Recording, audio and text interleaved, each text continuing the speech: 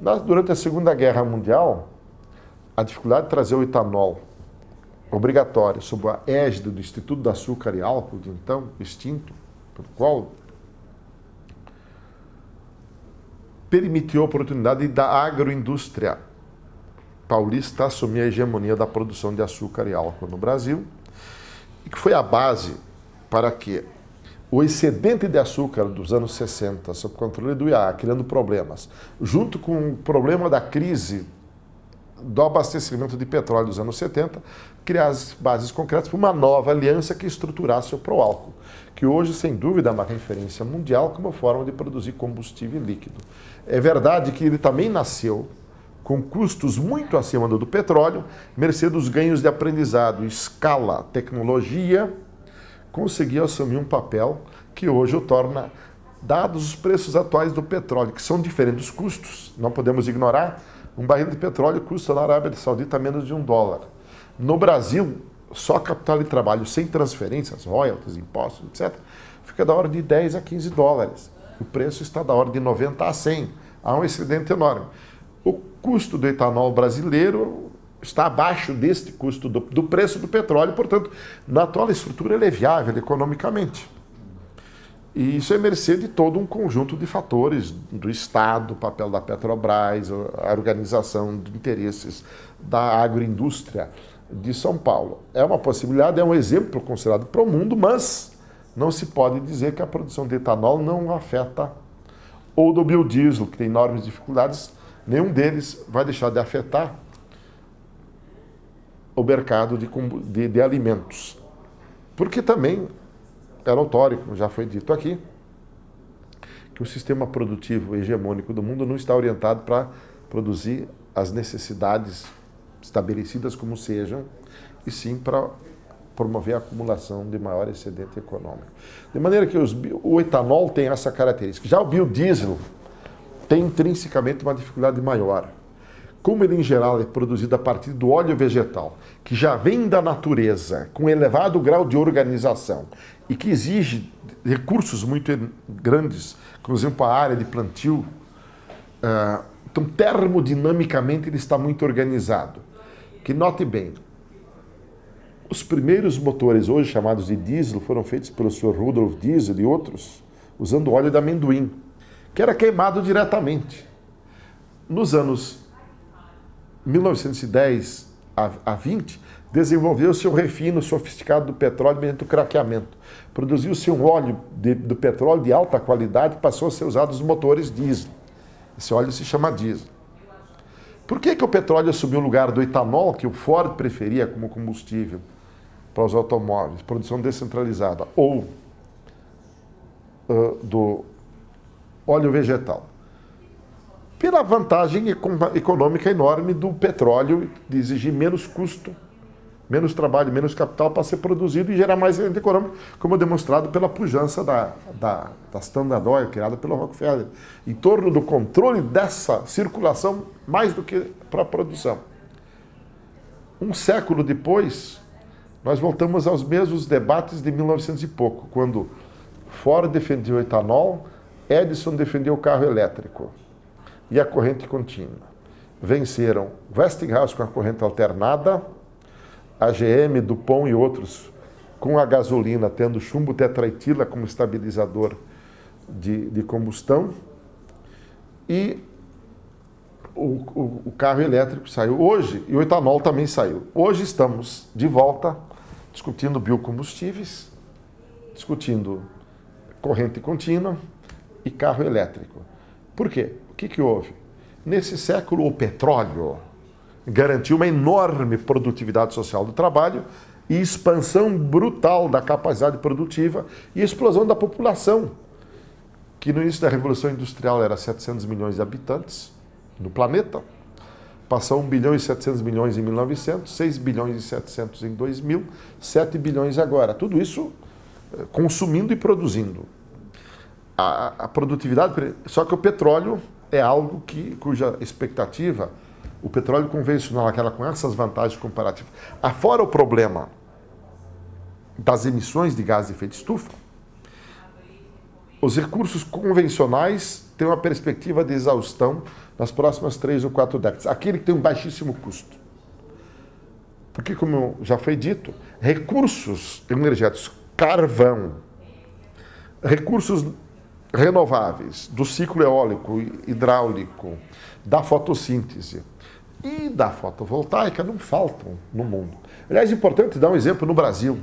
Toda a energia elétrica que nós consumimos por ano no Brasil poderia ser produzida com uma área de 80 por 80 quilômetros, com painéis fotovoltaicos. É claro, teríamos essa energia de dia e não de noite.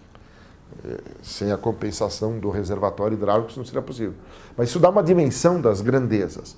E tão importante, o ponto que estou frisando aqui, é que a organização do aproveitamento dos recursos energéticos tem se dado subordinada a uma lógica da estruturação do sistema econômico, que por sua vez está subordinada à lógica de que a essência de tudo é produzir excedente criar mercadorias, produzir as mercadorias, fazê-las circular e nesta roda, quanto antes e quanto mais rápido circula, quanto mais rapidamente os capitais se reproduzem, mais esse sistema se torna dinâmico. E, e esse sistema se tornou dependente de cada vez mais ter recursos naturais de melhor qualidade e eles estão, de uma certa forma, o petróleo, por exemplo, uh, em vias de deterioração da qualidade intrínseca dos recursos. E por isso o debate no Brasil em torno do pré-sal é tão importante, mesmo agora do, do, do, gás não convencional. O Brasil, depois de quase 60 anos de Petrobras, logrou encontrar uma das novas grandes províncias petrolíferas mundiais. Fruto do trabalho interno da Petrobras com apoio do povo e pouca ajuda dos governos hoje é um dos recursos no mundo uh, mais cobiçados. E, lamentavelmente, o governo brasileiro vem fazendo leilões entregando-os a grupos estrangeiros. Porque se há uma lição é de que se o primeiro meio século da indústria petrolífera mundial foi comandado pelas sete irmãs, as cinco filhas da Standard Oil, do Rockefeller, mais a BP e a Shell, a partir dos anos 60, os estados nacionais renascidos do regime colonial comandado pelos ingleses, no Oriente Médio, Europa, etc. No Oriente Médio, África, etc. Que eram os donatários, repositários, repositório dos recursos de petróleo, passaram a se organizar, independentemente do que se faz com esse excedente, como na Arábia Saudita, Iraque e Irã, estaram palcos de conflito geopolítico por isso mesmo, passaram a controlar os recursos. Hoje, em 60 84% dos recursos de petróleo estavam na mão de multinacionais, 14% na mão da União Soviética e só o restante de governos. Em 2010 é o contrário. Mais de 80% estão na mão de governos de estados nacionais. E todos eles zelam pelo, no âmbito da OPEP, ou em coordenação com a Rússia, que é o grande produtor fora da OPEP, para coordenar a produção e extrair excedente econômico a partir da diferença entre o custo de produzir e o preço de circulação do petróleo. Coordenam a produção, enquanto o Brasil continua fazendo a 11 rodada sem saber sequer quanto petróleo já está descoberto, em nome de falsa informação.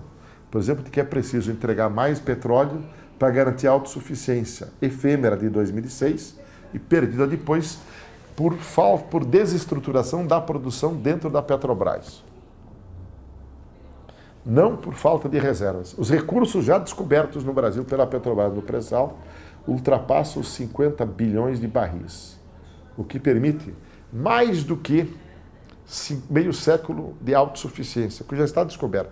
Primeiro, o que nós poderíamos fazer aqui era organizar primeiro a conclusão da exploração, saber quanto é o volume de petróleo do pré-sal e das outras bacias. Agora, por exemplo, a ANP festeja, dizendo que o interesse das multinacionais, que no dia 14 de maio pagaram 2,8 bilhões de reais pelos blocos, é porque se descobriu que do lado de lá da África, onde, que há 130 milhões de anos atrás estava encaixada na América, na parte que toca o Brasil, ali pelo norte, faixa norte, desde a Foz do Amazonas até uh, o Rio Grande do Norte, na África se descobriu muito petróleo. Então aqui também tem. Como no Brasil a descoberta do pré-sal, movimentou aqui entre Santa Catarina e Espírito Santo, movimentou uma busca com algum sucesso já do lado de lá da África. E que na Guiana Francesa já foi confirmado, além da Guiné Equatorial. Falaram que o Brasil opera desse jeito, parece que são as empresas estrangeiras que vêm aqui e ditam a estratégia geopolítica do petróleo, com o discurso de que, de um lado, faltaria recursos para produzir, não falta, que já descoberto o suficiente. Em segundo lugar, é preciso manter os investimentos na cadeia produtiva. Ora, a cadeia produtiva do petróleo consome menos de 10% do valor dele. De maneira que, geopoliticamente, os governos Fernando Henrique Cardoso, Lula e Dilma são um desastre no interesse histórico do povo brasileiro na área do petróleo. O mais interessante seria delimitar o recurso, organizar a produção para atender a demanda brasileira, fazer um plano nacional de investimento em educação pública, saúde pública, mobilidade urbana, reforma urbana, reforma agrária, ciência e tecnologia, infraestrutura, reforma estrutural da infraestrutura e investimento em transição energética, porque o bolsão do petróleo mais cedo ou mais tarde vai acabar. Feito isso, organizar a produção só para isso. Porque agora o que eles querem fazer é arrancar todo o petróleo que está lá, convertê-lo em quê? Quando ele vira mercadoria, a próxima fase vira moeda, que vai ser repartida entre todo mundo que participa da cadeia e vai sobrar um pouquinho para o Estado brasileiro, que vai ser investido em quê? Qual é o investimento? Em que moeda? No dólar, euro, yuan? Ou uh, iene? Qual a moeda? Em que investimentos? Possivelmente o melhor investimento depois do petróleo no Brasil vai ser comprar reservas e recursos do petróleo da África ou do Cazaquistão, que são as duas outras fronteiras petrolíferas. Então é mais inteligente, sabendo quais são as reservas, manter o petróleo lá de baixo.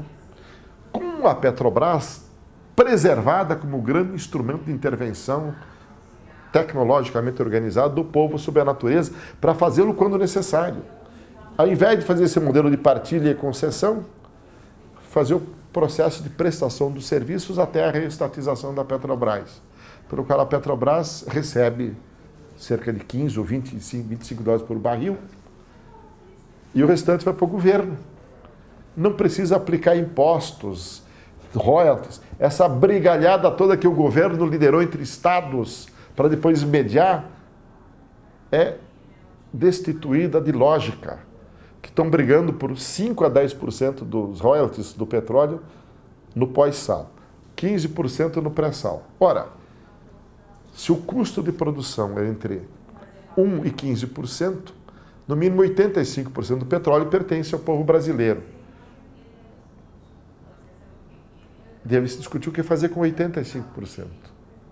Não criar conflitos interregionais que desviam a atenção do povo brasileiro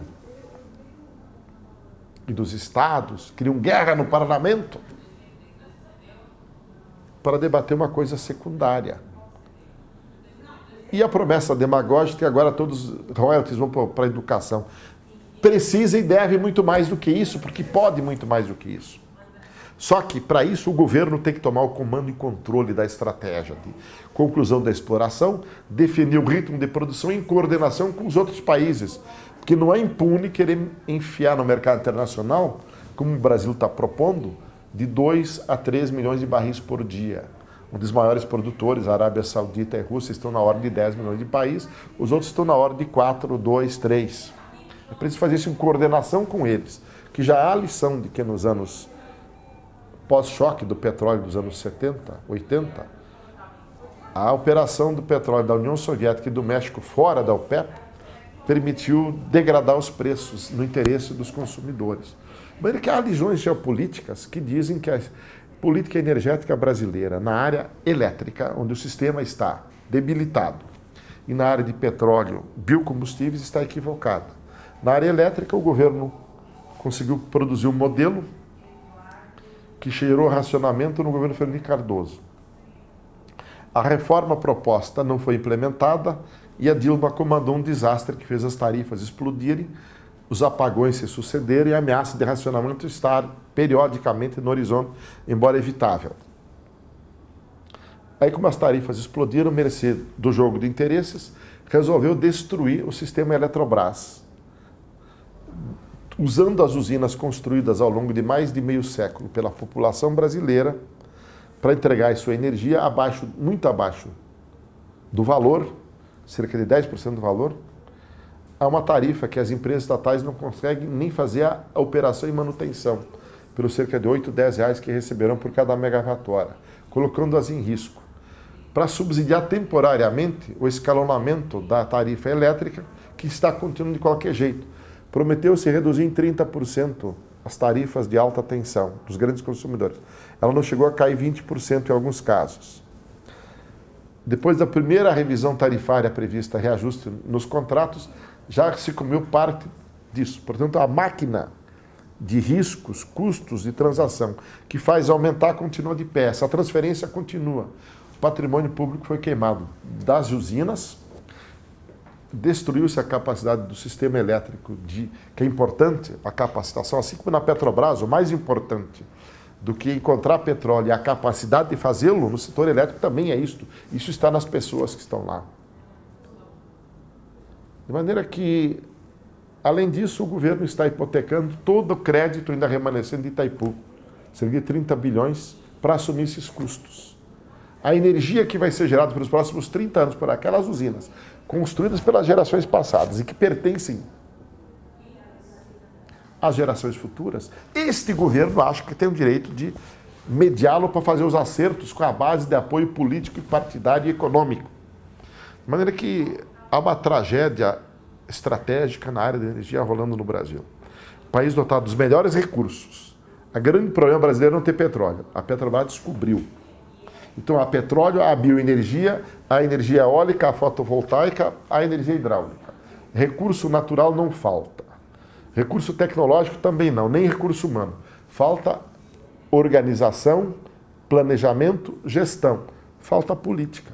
E estes governos que se sucederam, desde o neoliberalismo de Collor até agora, todos neoliberais, não foram capazes de produzir uma estratégia no interesse da população. Não quer dizer que não haja muita gente e muitos interesses satisfeitos. Ao contrário, toda essa estratégia que hoje está no lugar, na área elétrica, na área de biocombustíveis, especialmente com a desnacionalização das terras no Brasil, que é importante citar toda a agroindústria brasileira foi montada em cima de uma história agrária, industrial, de uma elite. Agora, esta elite está sendo desfeita para dar lugar a grupos multinacionais subordinados à empresa de energia e ao velho cartel do alimento mundial, que progressivamente, desde a Revolução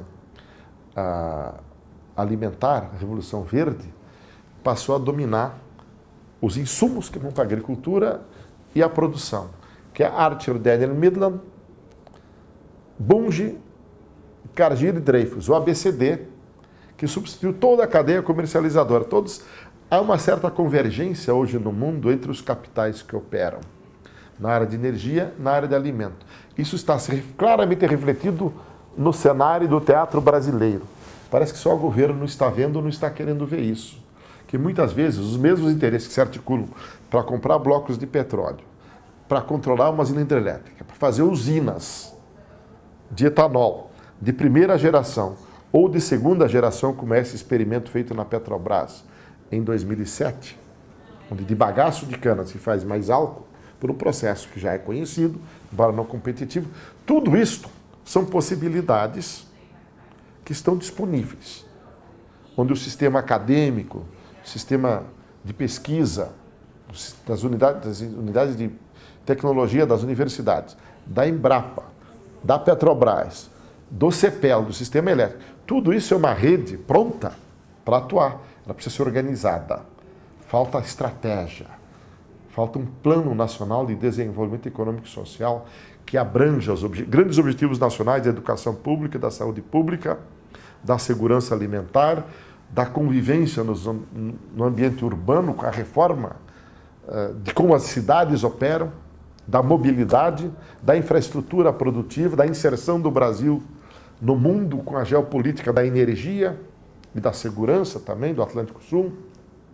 Não podemos esquecer, o Padre Pressala está a quase 300 quilômetros do mar, eh, mar adentro, e os Estados Unidos acabaram de rearticular sua quarta frota. Será que é para passear no Atlântico ou é para viajar algum interesse? sabendo que todas as histórias de conflito onde há petróleo no mundo não existiam antes do petróleo ser descoberto e foram criados no bojo do fim do colonialismo e da emergência das grandes uh, uh, companhias de petróleo ocupando esse espaço. De maneira que este país tem recursos, tem gente, falta política, falta organização, falta estratégia, falta mobilização popular. Só por isso que quase que impunemente, no dia 14 de maio, o governo festeja, a imprensa aplaude a entrega de petróleo que não se sabe quanto é, em troca de 2,8 bilhões de, de reais, que certamente não passarão nunca de menos do que 1% do valor do petróleo entregue. De maneira que, na área de energia, as perguntas ortodoxas, às vezes bem focalizadas numa outra fonte, perdem relevância quando se olha o panorama estratégico que deveria orientar a organização desse segmento em conjunto com os demais. Por isso, o diálogo entre alimentos e energia está se reforçando. Tem que ser compreendido como tal. Terra onde acontece a fotossíntese, onde a água e fertilizantes que podem circular, é um recurso para as duas direções.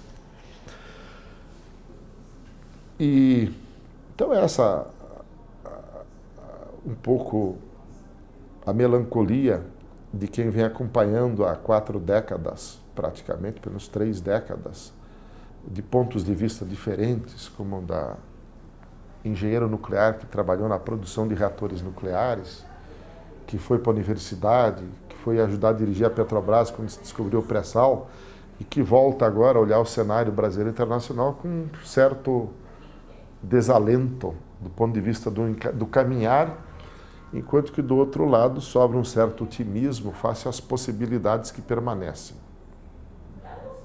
Professor, para a gente encerrar, dentro do, desse profundo conhecimento, da experiência que o senhor tem, né? uh, qual seria a matriz energética ideal para o país, dentro do ponto de vista de equilíbrio econômico, mas também ambiental, social?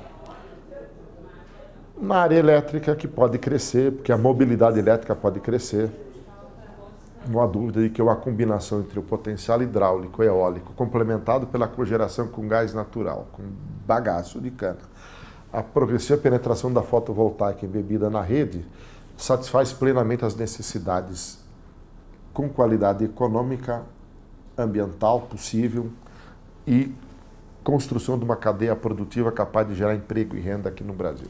Mantendo-se a produção de alimentos necessários. Claro, Segundo lugar, na área de mobilidade, obviamente o petróleo vai permanecer. O Brasil agora dispõe de uma possibilidade nova que está sendo estudada nesse instituto também, que é o chamado shale gas, que poderá assumir um papel importante, como assumiu nos Estados Unidos. Aqui há recursos potenciais importantes, mas primeiro é preciso fazer os estudos na área de conteúdo de matéria orgânica preciso nas várias bacias.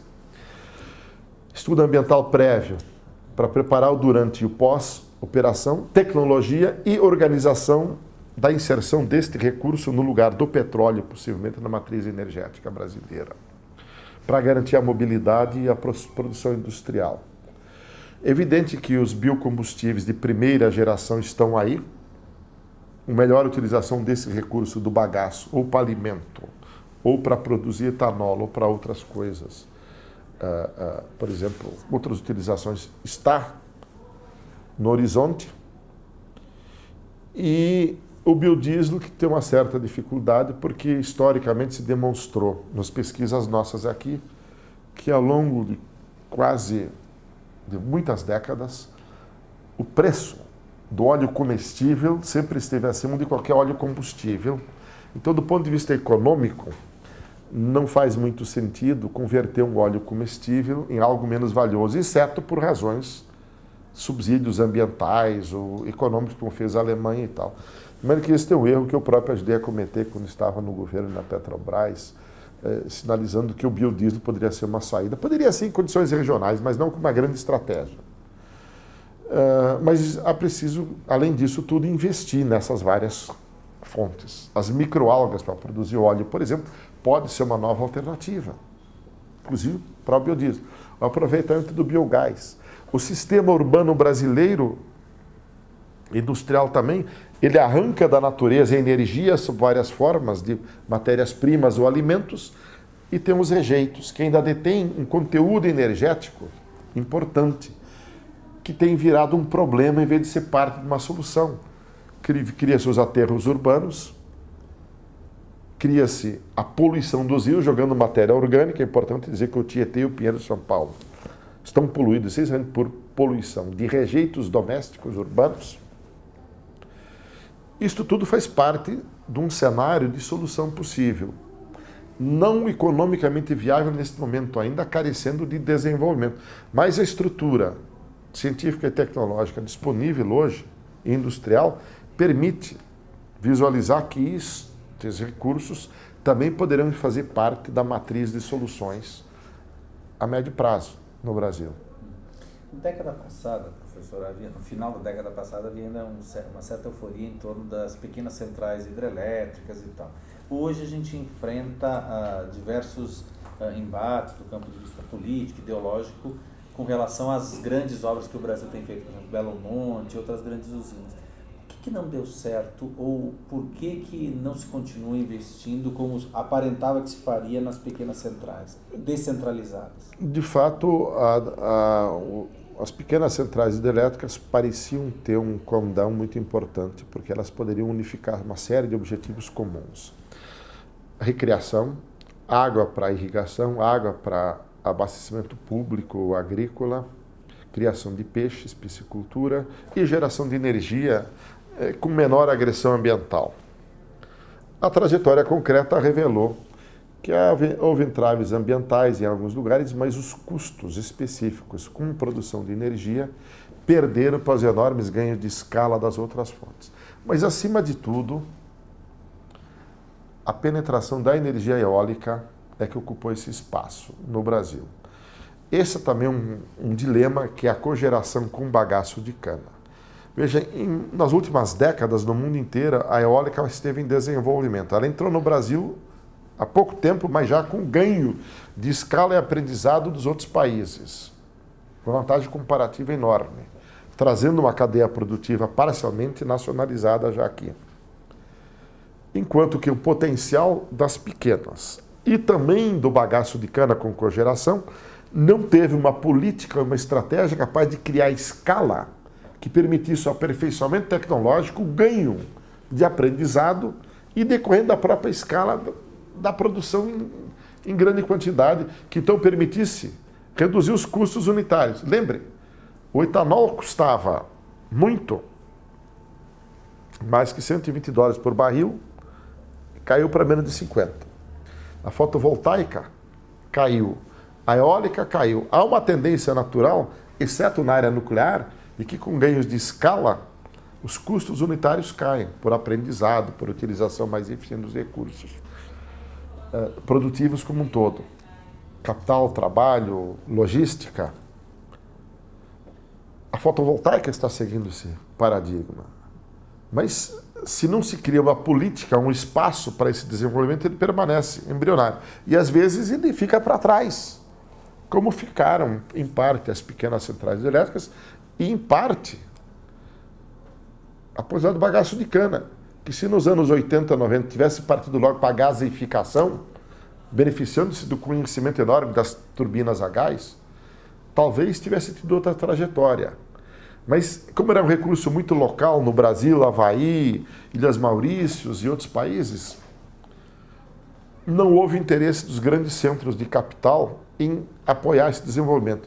E no Brasil, a indústria incipiente, embora de alto padrão, como são as indústrias desse campo, não seguiram essa trajetória, nem o governo visualizou isso. Então, talvez seja esse o entrave. O recurso natural está lá a sua apropriação social depende de uma cadeia que não foi viabilizada até esse momento. E como ela sempre tem que competir com outras alternativas, quando uma se torna hegemônica, as outras têm dificuldade de ocupar esse espaço. Foi assim quando o petróleo derrotou o etanol e os óleos vegetais eh, no final dos anos 1800, começo dos 1900 Foi assim que o carro a combustível líquido predominou sobre o elétrico e de carvão e outras opções. Foi assim que a corrente alternada dominou a corrente contínua. Não quer dizer que os princípios envolvidos não possam, sem outras condições, serem desenvolvidos e viabilizar uma escala mais ampla, mas é parte da história. Então, claro, transcendia as PCHs, mas é uma lição que se tem que aprender. E não sei se foi aprendido. Hum. E com relação à energia nuclear, professor, por que no Brasil ainda existe esse tabu tão grande? Realmente ela é desnecessária? O Brasil não tem a necessidade de contar com essa opção? É um tema muito uh, caro a mim, porque eu sou engenheiro nuclear, fiz doutorado na área nuclear e abandonei a produção de energia nuclear para a geração elétrica no Brasil, achando que a ciência e a tecnologia nuclear tem um enorme papel a cumprir em outras aplicações na área de saúde, agricultura, medicina, ciência dos materiais, etc. Uh, ah, a história no mundo revelou que houve um, um menosprezo pelo risco que a radioatividade poderia ter e as tecnologias desenvolvidas para converter a fissão do urânio ou do tório depois em energia menosprezou um conjunto de questões, especialmente nesse campo da segurança. Porque no começo a tecnologia foi desenvolvida para fins militares, quer fazer a bomba, mas principalmente fazer o submarino por propulsão. Então a rota tecnológica não foi aquela que talvez pudesse gerar mais benefícios, a semelhança do que foi dito antes. E os acidentes concretos mostraram que havia problema de segurança. Anunciava-se na década de 50 que ela seria tão barata de ser produzida que seria mais caro medir do que produzir, então ela seria gratuita, como é o oxigênio ou a água em fontes naturais. Mas isso não aconteceu. No caso brasileiro, particularmente hoje, merecido das outras fontes, hidráulica, eólica, para atender toda a demanda futura, não tem sentido concluir Angra 3, por exemplo. Angra 3 vai custar só para concluir mais de 10 bilhões de reais. A mesma energia que Angra 3 vai produzir por 10 bilhões de reais, só com custo capital, pode ser produzido por uma combinação de eólicas e hidráulicas, custando uh, cerca de quase a metade disso. E a usina de Angra 3 vai deixar mil toneladas de combustíveis irradiados de alto, eh, eh, que precisarão de cuidado, se reprocessados por 300 anos, não reprocessados por dois milênios com o risco de haver acidentes durante a produção e muita manipulação de rejeitos de, de médio e baixo nível durante, expondo o, o sistema. Se o Brasil não tivesse outra fonte, não haveria dúvida, como fez a França. Dúvidas poderiam surgir agora, depois de Fukushima. E esse é outro problema. A forma como a indústria nuclear se organizou no mundo foi sempre no sentido mais de convencer os demais de que ela é segura do que em se tornar segura.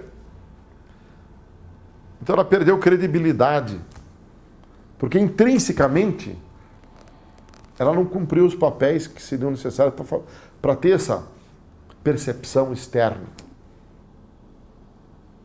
Então no Brasil a razão econômica já seria suficiente para dizer não faça. Agora, continua desenvolvendo ciência e tecnologia na área nuclear. Para a energia não é necessário nem pagar tanto nem correr os riscos que ela ainda tem, que são pequenos, não há dúvida, mas são existentes. Então, por isso, a Angra 3 devia ser cancelada. Como doutor em engenharia nuclear, eh, muitos dizem, não devia dizer, não, eu devo usar conhecimento para dizer isso. Essa é a minha convicção. Porque os elementos concretos de análise nos permitem concluir isso. Por isso que eu deixei um artigo aqui sobre Does Brazil Need New Nuclear Power Plants? Tá bom? Muito bom.